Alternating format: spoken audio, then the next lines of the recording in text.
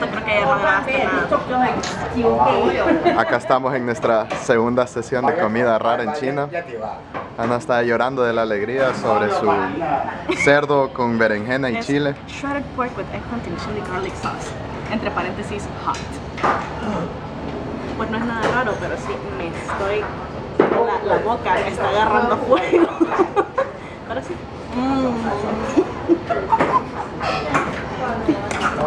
Pero no se preocupen amigos que aquí tenemos nuestro vaso de arena, o sea, té caliente. En todos los lugares. Si no es té caliente, es agua caliente. Esto es igual de refrescante que un vaso de arena en el desierto. Bueno, pues me, me despido con otro plato, ¿eh? otro bocado de berenjena. Mm. Sí está rico. Pero está llorando de la alegría.